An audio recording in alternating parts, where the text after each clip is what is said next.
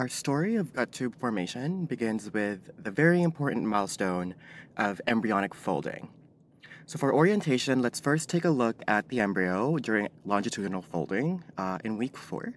You could see here the amniotic cavity dorsally, the yolk sac ventrally, uh, oropharyngeal membrane cranially, and cloacal membrane caudally. So embryonic folding is exactly what will establish the foregut, the hindgut, uh, and the midgut, which as you can see here are um, in communication with the umbilical vesicle or the yolk sac, right? And by the end of week four, this communication pinches and narrows as the omphaloenteric duct or the Vitelline duct in the midgut. Notice how the allantois and the hepatic or the liver bud also arise after folding.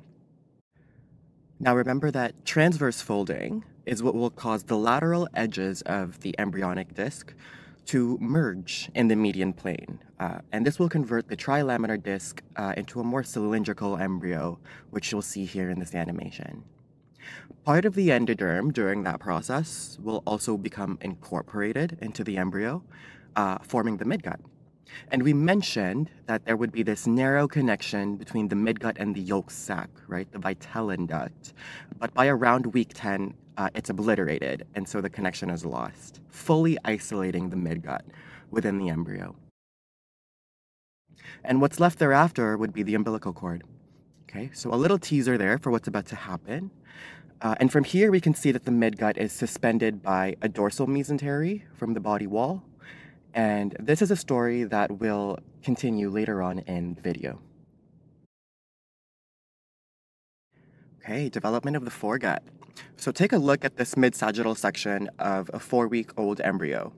Uh, it shows you the derivatives of the foregut and also the derivatives of the respiratory system cranially. Okay, so to start this next chapter of the story, the development of the stomach, uh, let's first take a look at a transverse section from above. So bird's eye view here.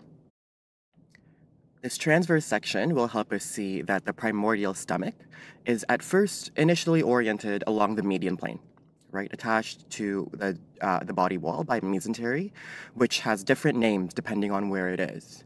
So the dorsal mesogastrium attaches the stomach to the dorsal body wall, and the ventral mesogastrium to the ventral body wall. The liver will develop in the ventral mesentery, uh, and it's attached to the ventral abdominal wall by the falciform ligament.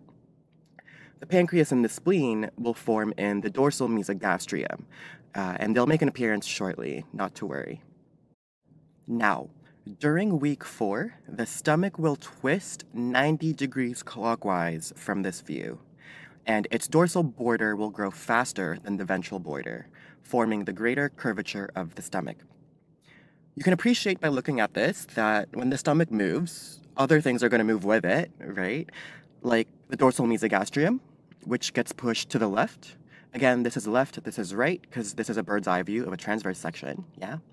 So during rotation of the stomach, the dorsal mesogastrium gets pushed to the left, and it will form the greater omentum, this mesenteric apron, right, that will drape caudally um, over the small intestine. And the pancreas and the spleen, since they form within the dorsal mesogastrium, they'll also be pushed to the left. And lastly, a branch from the celiac trunk also hitches a ride to the left. Uh, and while it's in commute, it'll form a lot of different branches that will supply different parts of the foregut. So the primordial stomach, recall, is a fusiform dilation of the caudal end of the foregut. So it starts off looking like a flat fish, right? And we just saw the primordial stomach rotating 90 degrees clockwise in a transverse section. But let's rewind that, and this time I want us to look at it ventrolaterally. Yeah. So the dorsal border of the stomach again becomes the greater curvature. But what you can appreciate now is that the dorsal border pushes to face to the left this way. Okay, it'll face the left side and the ventral border, or the lesser curvature, pushes to the right to face the right, that way. Okay? A little confusing, so let me do that again. The greater curvature pushes to face left, and the lesser curvature pushes to face right, so as to establish the left side of the primordial stomach as the ventral surface, and the right side as the dorsal surface. Now, as this happens, the proximal part of the stomach will also move caudally, right? It moves down. And the distal part moves cranially and it moves up. So it kind of squishes in on itself, if you will, uh, in the coronal plane. And after all is said and done, the stomach goes from flat fish along the median plane to C-shaped along the coronal plane during weeks 6 to 7 uh, as a result of all the growth and the twisting that happens. Let's talk about the neighbors of the stomach now. So liver and gallbladder. During week 4, early week 4, uh, a ventral outgrowth from the distal part of the foregut will start to emerge, uh, and as it grows, it'll invade the surrounding septum transversum, which you know partially forms the diaphragm, right? This ventral outgrowth is what we call the hepatic bud. It'll divide into a larger bud, the hepatic diverticulum, the primordial liver, and a smaller caudal bud, which will form the gallbladder. Importantly, we can also see here that the stalk of the hepatic diverticulum forms the bile duct, right, which will eventually form the cystic duct connecting to the gallbladder. The primordial liver, needless to say, will enlarge rapidly and fill most of the upper abdominal cavity. Let's take a closer look at that cystic duct. Uh, notice how it joins the hepatic duct to form the bile duct, which will connect the gallbladder and the liver to the developing duodenum. We can also see here the two building blocks of the pancreas, which are also connected to the duodenum. So during week five, the dorsal pancreatic bud will emerge first, and it emerges higher than the ventral pancreatic bud, but both are sandwiched between layers of their corresponding mesogastrium. Okay?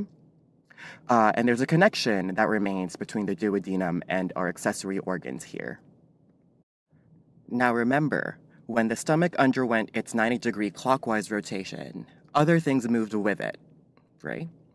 Well, it turns out that the duodenum is another victim of that rotation. And so when the stomach rotates clockwise, uh, so does the duodenum at around week five. It'll twist to the right. And that has a whole other set of consequences. For the pancreatic buds, rotation of the duodenum will carry the ventral pancreatic bud dorsally. The bile duct and the developing liver are also carried dorsally and cranially upwards, uh, which will allow the liver to fill most of the upper abdominal cavity. eventually, the ventral pancreatic bud fuses with its dorsal partner, and they live happily ever after in the adult as the united pancreas. The ventral pancreatic bud will form uh, the inferior head of the pancreas and the uncinate process. Uncinate means hook-shaped. And the dorsal bud forms the rest of, you know, the pancreatic head, the body, and the tail. The pancreatic duct, now, uh, is formed from the duct of the ventral bud and the distal part of the duct of the dorsal bud. To get a better view of that, let's take another cross section. Okay, so dorsal pancreatic bud here, ventral bud here, all connected to the duodenum, which is pointing out at you. Isn't that fun? Now, when the duodenum twists to the right, the ventral pancreatic bud and the bile duct hitch a ride. They're headed dorsally. And by week eight, the two pancreatic buds fuse, okay? Uh, as a result, we see that the ducts of both pancreatic buds, both ducts, contribute to the main pancreatic duct right here. Uh, and sometimes the proximal dorsal duct persists as the accessory pancreatic duct, which you can see opens into the minor duodenal papilla. We're going to end off this long chapter of the foregut here with another transverse section, short and sweet. The last point I want you to see is that after the stomach and the duodenum rotate, most of the pancreas and the duodenum get pinned to the posterior body wall. Okay, so take a look at that there. And since that happens, since they're now pinned to the posterior body wall, they are now considered secondarily retroperitoneal organs. The midgut, remember, gives rise to the small intestine, including the duodenum distal to the opening of the bile duct, which is the major duodenal papilla. It also gives rise to the cecum, the appendix, the ascending colon, and the proximal two thirds of the transverse colon. Now, by the start of week six, something really interesting happens to the C shaped midgut. Uh, it'll elongate and it'll protrude into the proximal part of the umbilical cord. Um, and this is what we call the umbilical herniation, right, which happens in week six. So the Vitelline duct, or the omphaloenteric duct, from the beginning of our story, we see connects the midgut to the umbilical vesicle. Importantly, it also separates the cranial limb in yellow from the caudal limb of the midgut in pink. We can also see here the celiac trunk supplying the foregut and the superior mesenteric artery, or the SMA, which supplies the midgut. Now, we start yet another series of twists and rotations.